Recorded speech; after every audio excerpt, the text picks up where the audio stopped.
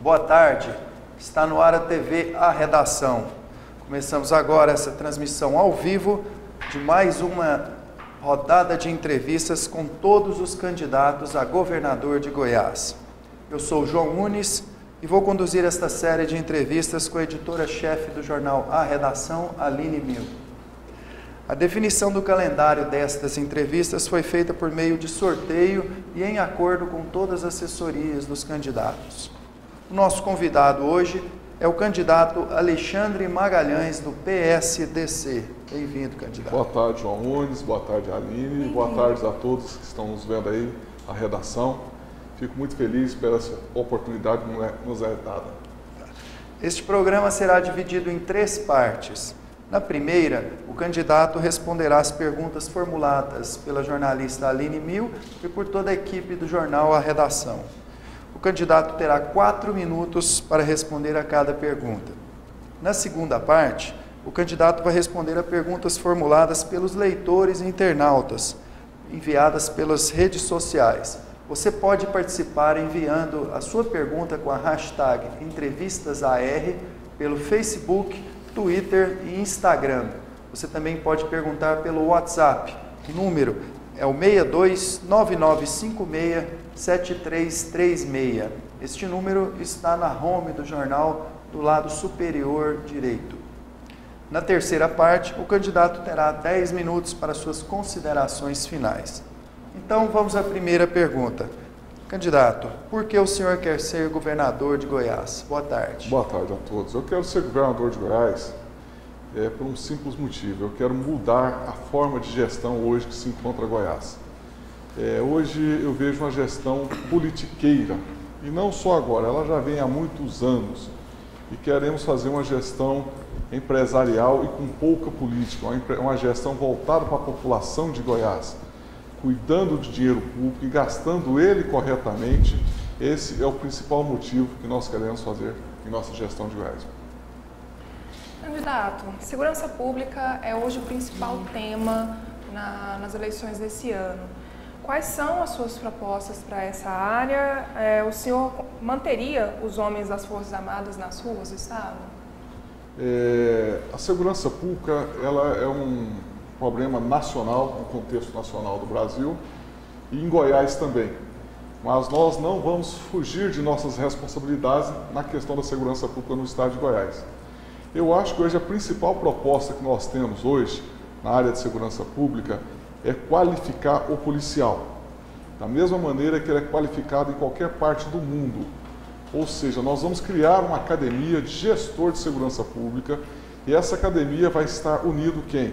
Policial civil, policial militar, o bombeiro, o perito, quem quer que seja que esteja relacionado à área de segurança pública. Serão cursos de três anos, como se fosse uma faculdade, é uma faculdade, e ali ele vai aprender tudo ele vai aprender o que? Leis, ele vai aprender artes marciais, ele vai aprender tiro, ele vai aprender psicologia para falar com o cidadão na rua e vai sair dali interagido com a comunidade, inclusive com eles mesmos, que hoje existe uma certa rixa, polícia civil com polícia militar, e quando a gente estuda junto, a gente passa a ter um certo vínculo, ou seja, quando a gente termina a faculdade, a gente termina com vários amigos. Quando a gente termina o terceiro ano de segundo grau, termina com vários amigos. E isso aí também vai interagir esses, esses formandos da Academia de Gestão Pública. Esse é a base. Por que tem que ser essa base? Um policial serve hoje o Estado 30 anos. E se ele não for bem qualificado, ele vai ser um mau policial daqui a uns dias. E a população tem medo da polícia. Infelizmente, isso acontece hoje na nossa cultura. E outras propostas que nós temos, que são propostas básicas e necessárias que um bom governador, com austeridade, com arrojo, vai fazer. Seria o quê? Fazer uma polícia é, investigativa, com ações contínua, contínuas e conjuntas, ou seja, nós não temos que estar procurando crime depois que aconteceu, nós temos que coibir o crime antes, ir atrás do criminoso, mapear um serviço de inteligência e diminuir esses índices, sem sombra de dúvida dar mais autonomia à polícia, eleger o quê? Um secretário de segurança pública da área, um delegado, alguém que entenda, tá? É, eleger um, o, o, o diretor-geral da Polícia Civil também através do voto dos delegados. Para quê? Para eles terem autonomia nesse sentido. É, criar um sistema de câmaras nas grandes cidades, igual é nos Estados Unidos, em qualquer país do mundo, para ter um rastreamento, ou seja, se acontece um crime, se não pegar nessa rua, pegue em outra rua, isso é normal no, no, no mundo todo.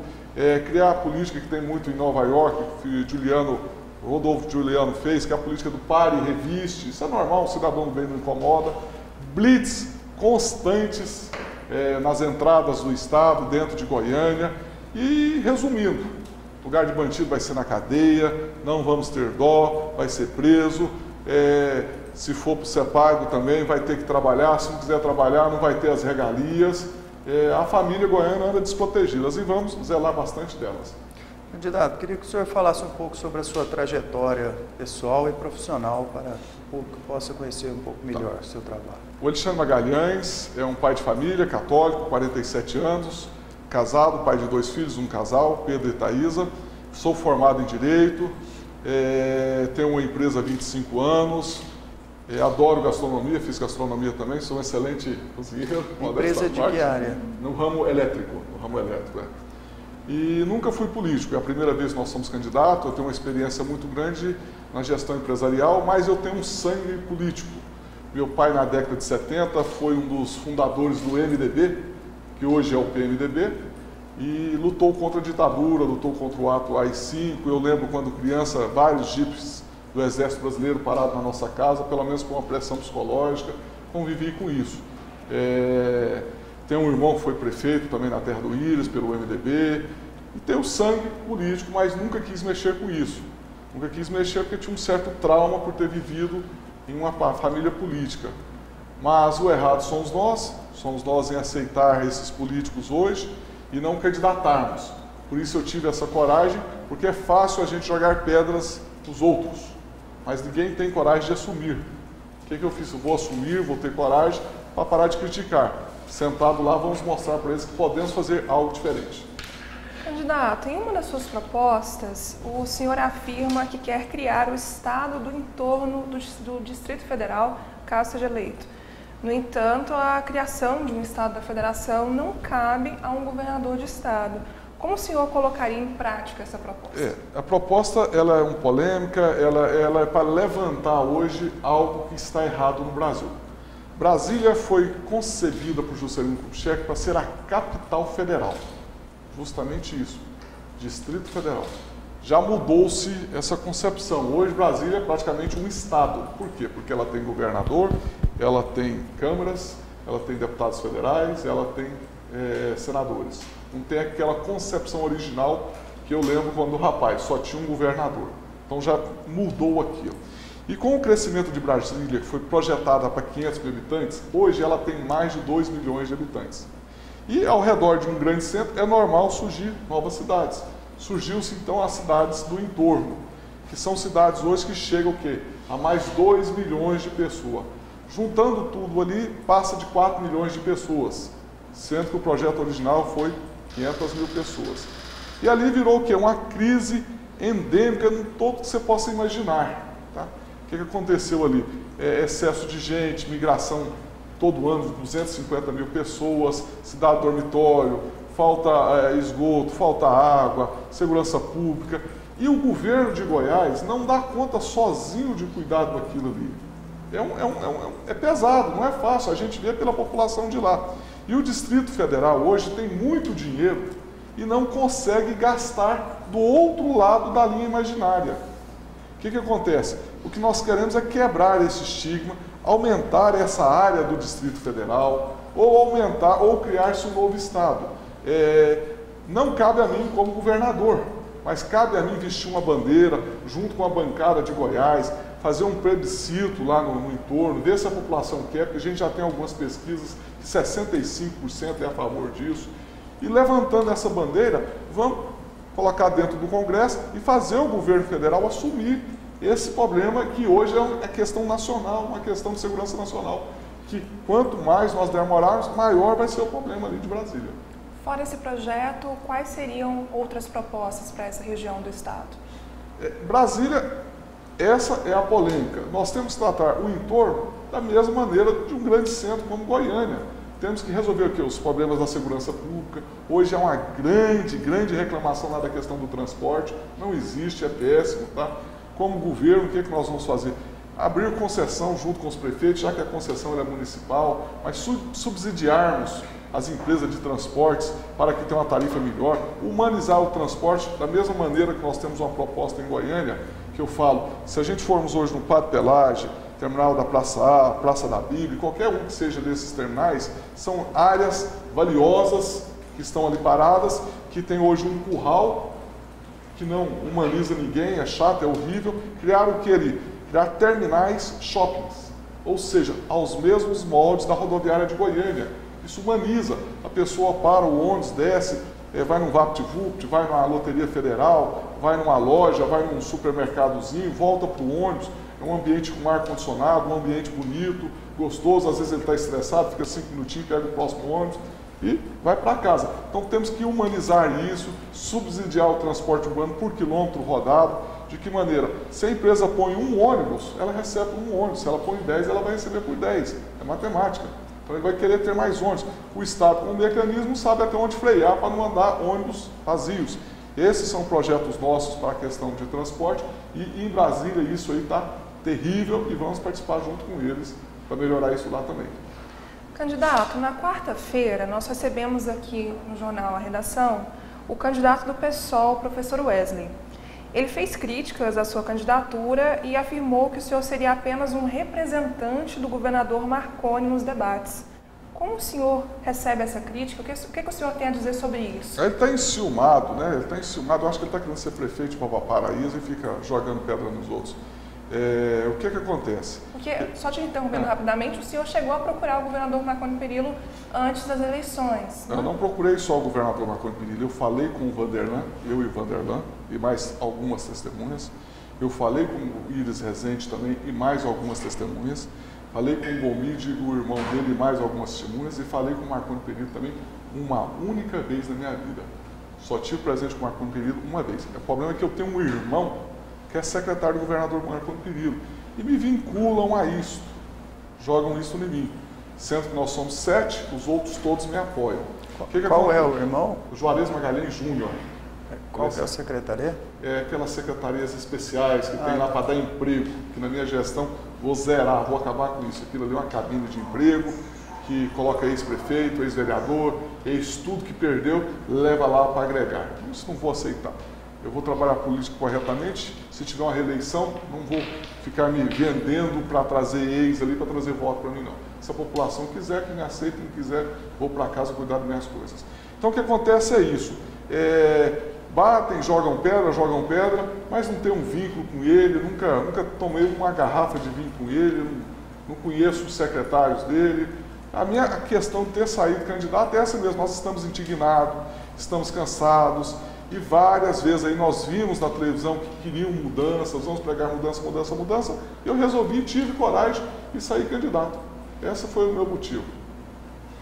Candidato, a decisão de colocar as organizações sociais para administrar as principais unidades de saúde do Estado divide opiniões entre os candidatos eh, esse ano.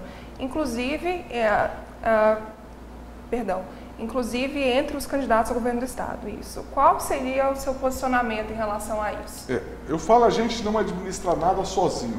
Eu não entendo de tudo. Se a gente falar que vou fazer isso, isso, isso e sozinho, eu vou fazer um péssimo governo.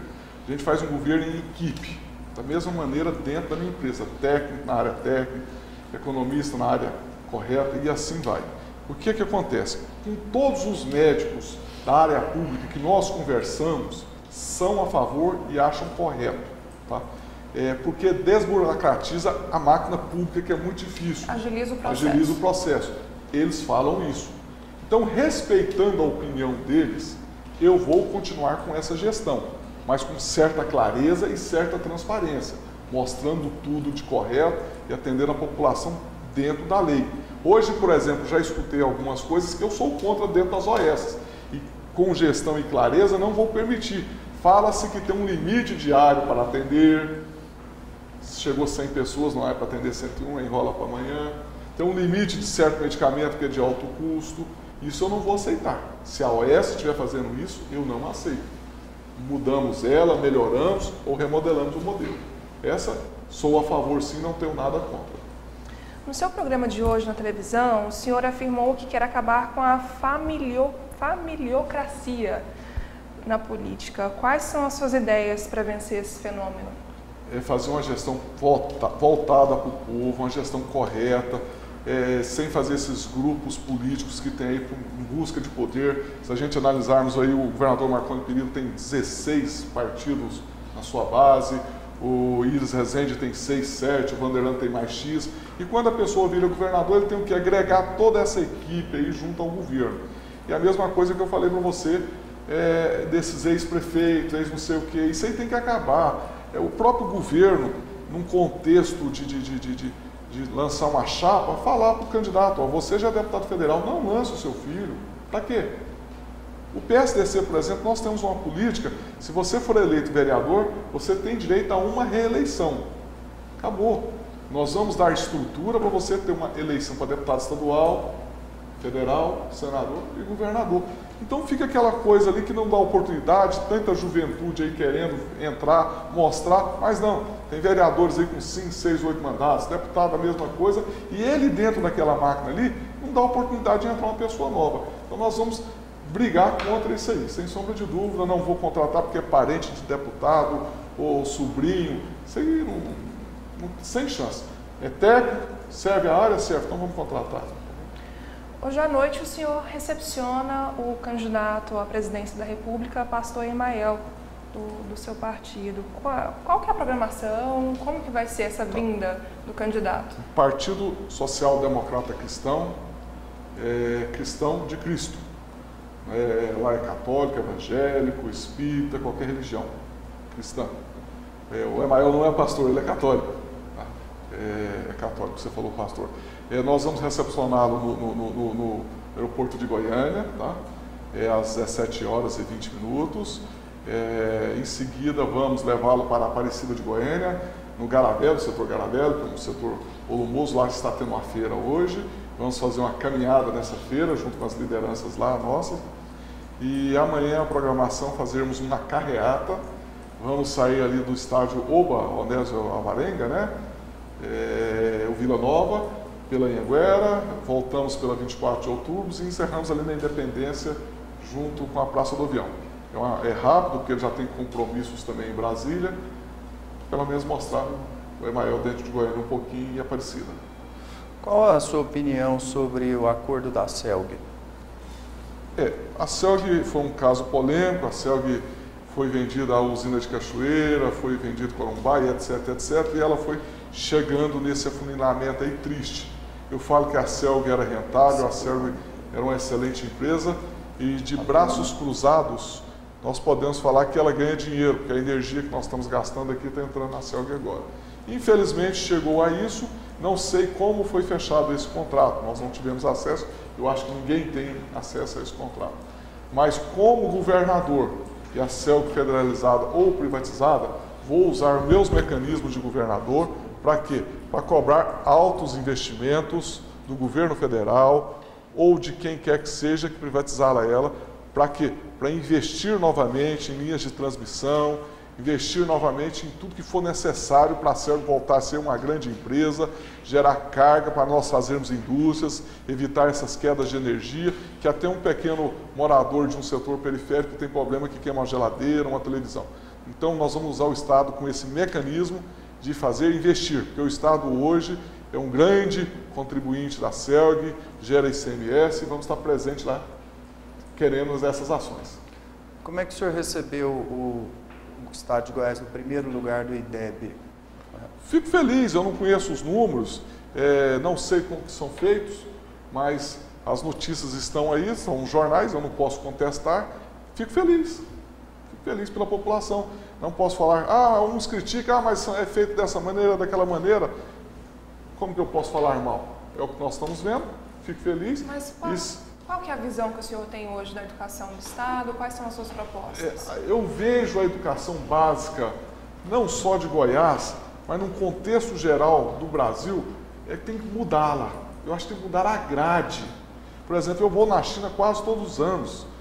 Tenho negócios lá. A gente entra dentro de um shopping na China, você vê uma sala enorme, assim, com 300, 400 pessoas, E de graça, está todo mundo sentado lá aprendendo inglês. De hora em hora vai trocando, entra um professor, entra outro pessoal, vai assistir aulas aleatórias mesmo e as pessoas vão aprendendo. Então hoje você conversa inglês com um rapazinho de 6 anos na China a um senhor de 70. E hoje nós somos ainda semi-analfabetos em inglês. Meu pai não sabe falar inglês, hoje é só a juventude. Muita gente não sabe, e é uma língua necessária. Então nós temos que mudar essa grade básica hoje da educação, porque ela é o alicerce de uma pessoa. Então nós queremos mexer nessa questão. Você chega hoje numa, educação básica e está dando aula de história da independência dos Estados Unidos. Para que isso? Por que nós podemos aprofundar em inglês, em português, em matemática? Tá? É, é melhorar o que? As, as, as, as, as escolas, hoje 1% das escolas a nível nacional não são aparelhadas, não tem uma biblioteca, não tem uma área de recreação boa, os banheiros são terríveis. Isso aí tem que mudar tudo isso aí para quê? Para incentivar a população também para ir para as aulas. É triste, mas é uma realidade nacional e de Goiás também. Bom, vamos agora então para a segunda parte desta entrevista, onde os leitores, internautas, perguntam para o candidato. Você ainda pode fazer sua pergunta usando a hashtag entrevistasAR ou usando o WhatsApp do jornal, o número é este que está aí no alto à direita. Aline, já tem alguma pergunta? Temos, João. A Luana Ferreira, de Aparecida, candidato, ela questiona. Em seus programas, o senhor tem dito que é o único capaz de vencer o atual governador num provável segundo turno. Quais são as estratégias do senhor para chegar a esse segundo turno, já que o senhor aparece em quinto e sexto nas pesquisas? Como, como derrotar o atual governador nesse sentido? Eu quero chegar no segundo turno falando a verdade. Hoje saiu várias, várias pesquisas de, de, de, institutos aí, do IBOP e, e vários, etc. Tem ainda 40, 50% de pessoas indecisas.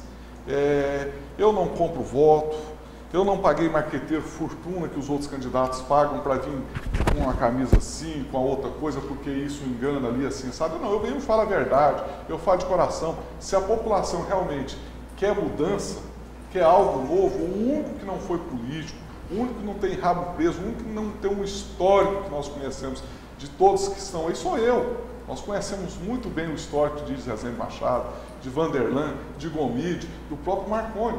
Agora, o Marconi é um direito dele de reeleição porque ele está no cargo. Eu, eu fui filiado ao PNDB quando um rapaz. Por que, que o PNDB não dá oportunidade para outras pessoas ser candidato?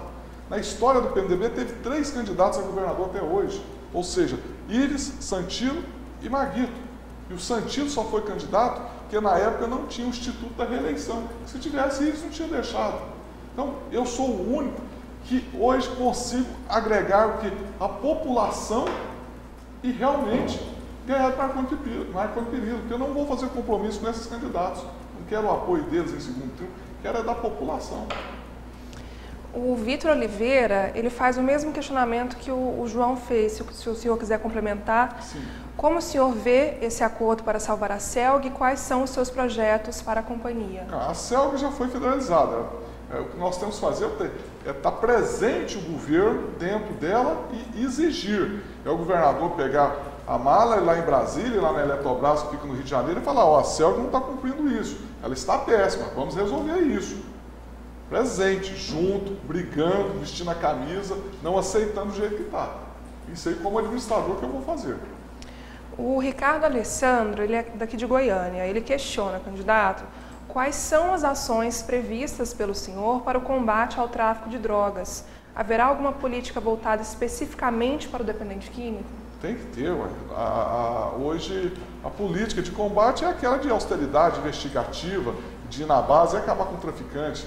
É, é, é, é a polícia, quando ela é investigativa, ela acha muita coisa e ela sabe. Essa vai ser a política, de fronteiras, investigando, parando, indo atrás. Agora, a questão de drogas dentro é, da família, é um, ou seja, estrutura uma família toda. E o PSDC é o único partido hoje que tem uma proposta de criar a Secretaria da Família. Para quê? Para reintegrar esse jovem à sociedade, através da família junto, através de tratamento químicos dentro de hospitais, através de atividades é, que traga para trabalhar no Estado, através de algum projeto. Isso aí, sem sombra de dúvida, é, é, um, é um caso social que nós não podemos cruzar os braços em momento algum. Como seria essa relação entre Estado e família nessa secretaria? Justamente para interagir a família junto ao Estado. Hoje, o Estado vê mais do que uma máquina que eu sinto, é ver o que é concreto, é asfalto.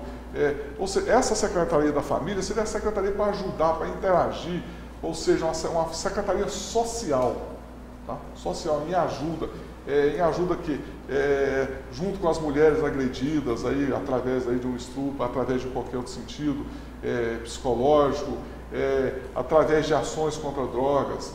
É, essa seria a secretaria, uma função social mais próxima da família, para interagir a família junto ao Estado. Tem uma última pergunta aqui, a Mirela Garcia, de Jataí, sudoeste do Estado. Candidato, o senhor tem algum programa voltado para o agronegócio no interior? Como o senhor vai lidar com o pequeno produtor? Esse, é esse é uma das principais pro, propostas nossas. Né? É, hoje, o meu projeto é resgatar a Emater. Temos que resgatá-la para levar esses projetos e ensinar o pequeno e micro produtor. O nosso projeto hoje é resgatar a agricultura familiar, criar pequenas indústrias familiares, né? E ver a vocação de cada região e implementarmos os arranjos produtivos de cada região.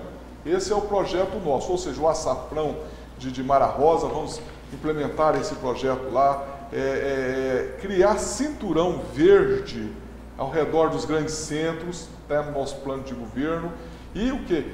Fomentar o pequeno e microempresário, rural, familiar. Incentivá-lo a fazer um queijo nobre, por exemplo. Hoje um queijo é, curado custa aí 15 reais o quilo. O queijo nobre custa 50, 60 reais. E através da Emater, através de, de estruturas do Estado ensinando, nós vamos fazer o quê? Levar a riqueza à população rural através disso. Uma pergunta, tem uma pergunta aqui do Sérgio Mota Paiva. Ele quer saber qual que é a sua política para criminalização da homofobia. É, eu, eu, sou contra é, a homofobia. Não é que eu sou contra, é, é explicar. Eu não, não, não, me preocupo. Se o caboclo for homofo é, a homofobia, é, é, o que eu quero falar é, é, é não entendi, bom, entendi. Essa, é, ela é um racismo, é um racismo, melhor, é um ontem, racismo. Ontem um garoto, um garoto foi assassinado é racismo, ontem em uma. Racismo, certo? Eu não tenho nada contra, ou seja, opção sexual, é sexual. Se a pessoa é homossexual é sexual, eu apoio, não tenho nada, não discrimino isso. Agora, a homofobia, para mim, ela é racismo. Isso aí tem que ser caso de cadeia, igual o seu, que é o racismo contra a cor. Sem sombra de dúvida, é crime e tem que pagar por isso, certo? Não, não aceito, certo? Uma última questão. É, o Wesley Porfírio mandou aqui para a gente no Twitter. A Secretaria da Família não seria conflitante com o movimento homossexual que pensa, que pensa a família de forma diferente? Pai, mãe, filhos? É, a família cristã é a família o quê? Marido, mulher e filhos. Tá? E o homossexual pertence à família. Ou aí um filho homossexual e não pertence à família, uma filha homossexual, está junto com nós, não tem conflito nisso, não. Temos que respeitar isso. Tá certo. Bom, as perguntas que não chegaram a tempo aqui para o candidato podem é, ser repassadas, que nós vamos entregar para a assessoria do candidato e ele poderá responder diretamente ao, aos internautas. Passamos então a parte 3, que é a, a, parte onde o candidato pode fazer as suas considerações finais. Ele terá 10 minutos para fazê-las. Mas antes, eu queria fazer aqui um agradecimento para a empresa Live Alive, que está fazendo esta transmissão ao vivo. E graças a ela você pode acompanhar em tempo real essa entrevista. Candidato, por favor, suas considerações finais. Vamos lá, João. Ali, é, nunca mexi com política, errei, eu acho que eu deveria ter entrado quando jovem, e o grande erro que existe na política hoje de Goiás ou do Brasil todo somos nós, eleitor. Somos nós que não temos coragem, não candidatamos, ficamos de fora, jogamos pedras e criticamos.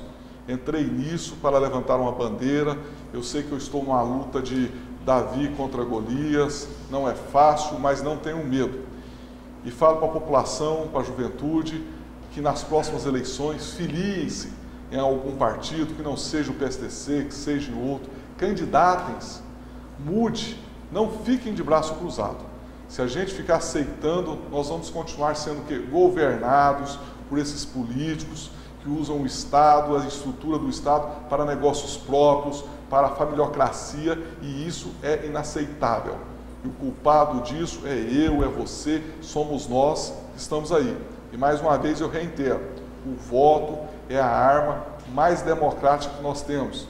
E agora, dia 5 de outubro, é a hora de usarmos. Se você não usar com Alexandre, que use com outro, mas pense o seu voto, não venda seu voto, porque se você vender seu voto, se perder um ente querido por conta daquele que você elegeu, a culpa é sua, você se vendeu, certo? Não vá no voto do vizinho, do voto do amigo, vá na internet, procure, converse, discute com pessoas, tá? E faça algo correto dê cartão vermelho em quem precisa e, vote certo em quem que você acha que é correto. Tá? O Alexandre está aí apenas para plantar uma semente, para mostrar que podemos mudar. Não estou preocupado se eu estou com 1% na pesquisa ou se eu estou com 10 ou 3, o que seja. Não preocupe se a grama do vizinho é mais verde que a minha. Esse é o Alexandre Magalhães, estamos aí plantando essa semente e falo mais uma vez, entrem na política quem tem um dom, não cruce o braço, tá? cartão vermelho para quem não deve. O meu nome é Alexandre Magalhães, reitero mais uma vez,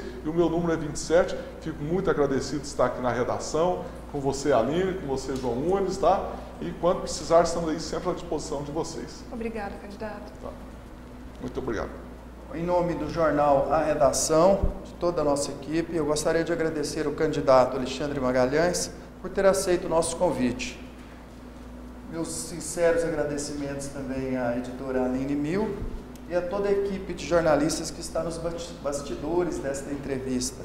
A Adriana Marinelli, Carolina Pessoni, Lorena Lara, Ana Carla Garrote, Wesley Porfírio, Caio Guimarães. Mais alguém, Aline? Acho que está todo mundo aí, João. Então tá bom. E convidamos você para assistir a próxima edição desta rodada de entrevistas na segunda-feira, às 15 horas Nessa ocasião, nosso candidato é o, é, nosso convidado é o candidato Antônio Gomide, do PT. A cobertura completa desta entrevista com Alexandre Magalhães de toda a série de entrevistas você confere no jornal arredação.com.br. Muito obrigado pela audiência e até segunda-feira.